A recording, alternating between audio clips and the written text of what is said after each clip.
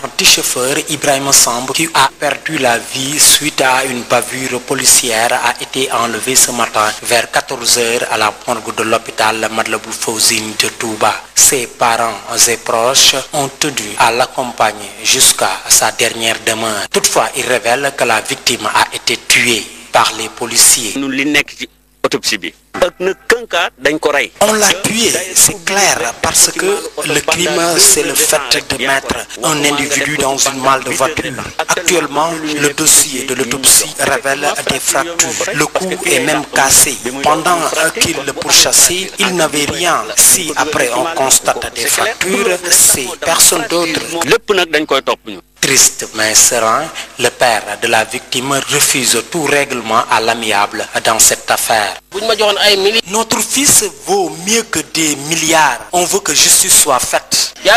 Cependant, le porte-parole de la famille se réjouit de la procédure et n'exclut pas de porter plainte contre l'État.